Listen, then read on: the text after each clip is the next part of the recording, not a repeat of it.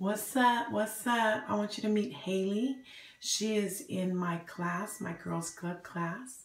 And I've asked Haley to share with you a little bit about what Jesus has been doing for her.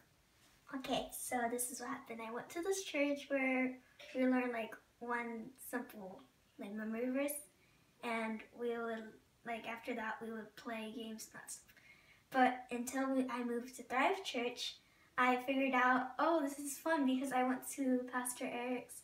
He's like amazing at like preaching, and I was like, oh, this is fun because my parents brought me. And then I moved into youth. It was really cool. I was just like, whoa, this is like deep. And then I went into Girls Club. I started off in um, a beginning class to understand how this works inside of the church, and it was like, this is cool. I want to keep on doing this. So now I'm in sixth grade. I moved on to a Friends Club. It's like a club you like hang out in with sixth graders and eighth graders. So we hang out in there. We talk about Jesus, and Sister Veronica goes deep into it. We learn a lot about the Bible. We don't learn how to like just like one memory verse. We learn a lot. We learn like a bunch of memory verses.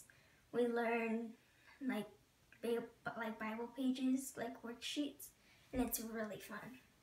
And then when I came into the church, I was just like, I want more of this. I'm like, whoa, I want more. I'm like a sponge trying to grasp all the water. But it's me like wanting Jesus more. And that's how it happened. So you would you say Jesus has changed your life even at your age? Yeah. 10 year old you can be changed at any age.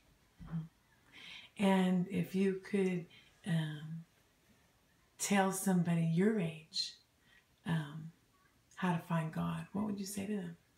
I would say just read the Bible. Un- you have to understand the Bible to know how to do it. If you need help, I'm always here. But it's you have to be reading it calmly, understanding it. If you don't understand, just get a kid's Bible. mm. It's real cool. Do you read your Bible often? Like every day. Mm-hmm. What would you say is your favorite verse, scripture?